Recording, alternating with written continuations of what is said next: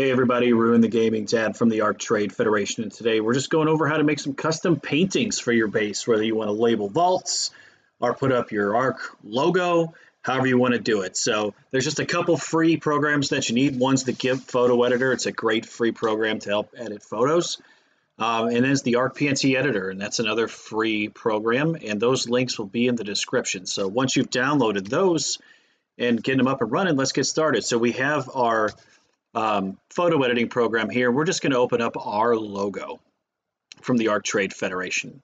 And the thing with the ARK PNT editor is it needs most of those files need to be a much smaller pixel range. So this one's much higher. In fact, you can see it's 1256 by 1256. So we need to go to image and scale image.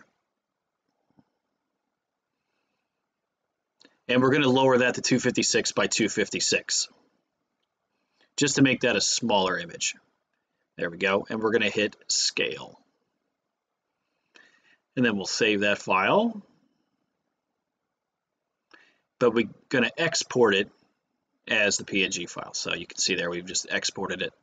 Because if we save it, it will be in the wrong format. So we're just going to name that ARK or ATF logo, paint. And we're going to export it. We'll put it on the desktop.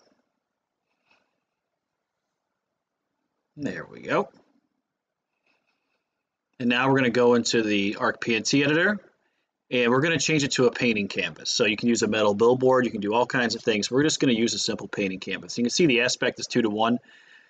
Obviously the painting canvas doesn't look like that, so we're going to an aspect of one to one and we're going to load an image. And we're going to go straight to the desktop and we're going to do our logo and it says that reducing the colors of the image, yes, you're going to do that just so it doesn't cost as much to paint. And you can see there's the logo. It's a little off because it does reduce the colors, but there you go. Now we're going to save as an ARKPNT file. And this is where it can get a little complex because you've got to put it in a very specific folder. So we're going to go into our games. We're going to our Steam library. And then we're going to go to Steam Apps, Common, ARK, of course, shooter game, saved, and then my paintings. So it does take a little while to get to that folder, but you can see it at the top since we've kind of scrolled through all of those folders to get to where we need Steam apps, common, ARK, shooter game, saved, my paintings. So and the file name, you've got to keep that final underscore there, or that first underscore, and you can name it whatever you want. So we're just going to name it, you know, ATF logo or ATF paint.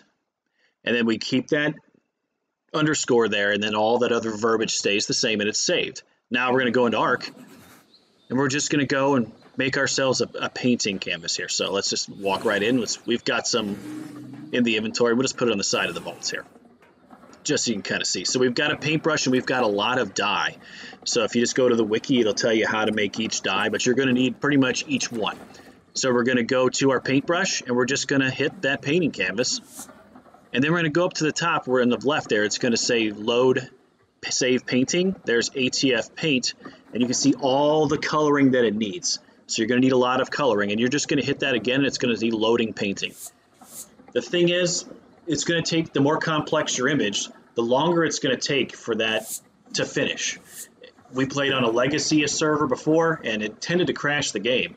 But some of the regular official servers, it doesn't crash the game, but it does take quite some time. You can actually see just in the background that the actual image is on the painting canvas, but it takes a lot of time to cycle through all of those colorings. The more simple the image, the faster that it'll paint. So just be patient if you've got a complex image, if you even have a picture of yourself or tribe or anything like that, it's just going to take some time. So just as it cycles through and cycles through, and once it's done, it's going to pop up to a screen that has the actual image that you wanted to paint on the canvas will pop up. Let's see if there it is right there. So looks very similar to what we saw. Now we've got our logo on it. Pretty easy stuff. Now, there's a great website you can go to. It's uh, arcpaint.com. They have a lot of different things you can download. We just downloaded a metal sickle because we have sickles in a vault. So we can actually just use that picture and put it on. So we're going to go down to metal sickle here. There we go. And it doesn't take as many resources because it's more of a simple thing.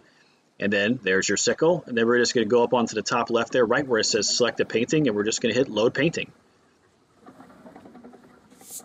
And it's going to do what it needs to do. It's going to go through all that coloring.